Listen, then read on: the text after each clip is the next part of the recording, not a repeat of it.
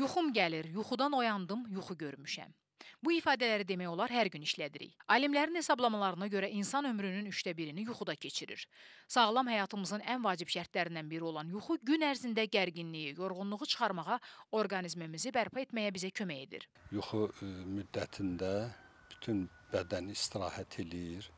Eyni zamanda beyində olan müəyyən funksiyalar e, bir növ sönmüş şəkildə, ləngimiş şəkildə olur ki, bu da beyində istirahət eləyir ki, həmin insan yuxudan sonra səhəri günü qalxanda özünü gümrah, rahat hiss eləyir və iş fəaliyyətinə başlayır. Bəs yuxunun standartı varmı? Belə qəbul olunub ki, sağlamlığını qorumaq istəyən hər bir insan gecə 7-8 saat yatmalıdır. Amma Elə adamlar var ki, qısa müddət yatır. 5 saatda da özünü gümrah hiss edir. Elə adam var ki, lap 10 saatda yatır, yuxu özünü yüngül hiss etmir. Bəzən elə hallarda olur ki, insan yuxusuzluqdan əziyyət çəkir. Bu zaman çıxış yolu tapmağa, yuxunu nizama salmağa çalışır. Hətta yuxu dərmanlarından istifadə edənlər də olur. Mən elə neçə illərdir elə beyin xəstəsiyəm, yuxu problemim var deyənə resepti verib alıram. Asıllıq yaratmır sizdə? Asıllıq yoxsa elə vaxt olur ki, mən onu 4də 1 lap atıram. Da yox olmayanda istifadə olunur. Yaxşıdır, rahatdır, ya- yatır adamı da rahat. Yuxu dərmanlarından yalnız səbəbi aradan qaldırılana-dək müvəqqəti istifadə etmək olar. Mütəxəssislər belə hesab edir. Davamlı qəbul edəndə isə Asıllıq yarana bilər və başqa onun fəsadları əmələ gələ bilər. Odur ki, mütləq, yəni həkimin nəzarəti ilə və həkimin təyinatı ilə yuxu dərmanlarından istifadə olunmalıdır. bəs yuxu dərmanlarını reseptsiz almaq mümkündürmü? Səhiyyə Nazirinin əmrinə əsasən hər bir e, yuxu dərmanları və psixotrop dərmanlar reseptlərlə verilməlidir.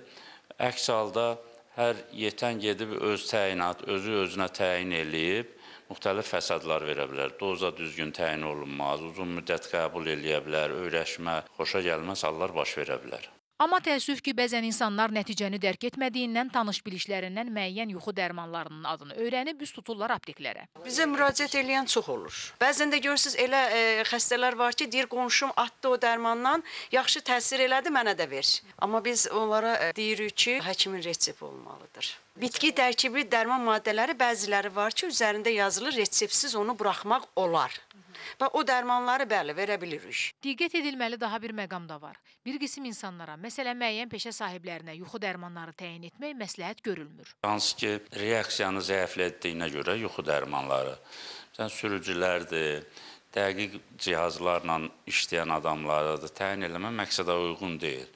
Eyni zamanda tənəffüs yolları xəstəliyindən əziyyət çəkənlərə də yuxu dərmanları qəbul etmək riskli hesab olunur. Yuxu dərmanlarını e, insanın deyək ki, bu tənəffüs fəaliyyətini ləngidir, onu müəyyən qədər pozur. Tənəffüs problemi olan insanlar xüsusilə yuxu dərmanlarından ehtiyatla istifadə etməlidirlər. Mütəxəssislərin fikrincə ilk növbədə yuxusuzluğun yaranma səbəblərini aradan qaldırmaq lazımdır ki, yuxu prosesi normaya düşsün. Habelə yatmamışdan qabaq həyəcanlandırıcı verilişlərə, qorxulu filmlərə baxmaq məqsədə uyğun hesab olunmur.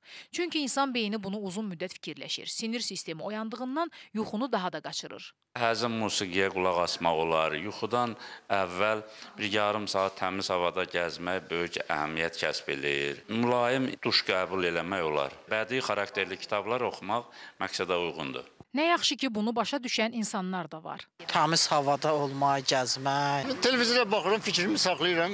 Televizora baxa-baxa adam yuxu adamla aparır da. Yuxunuz şirin olsun, yuxu dərmanlarına da ehtiyacınız qalmasın. Elə bu pozitiv xanım kimi. Mən yorğanıma girən kimi elə yatıram.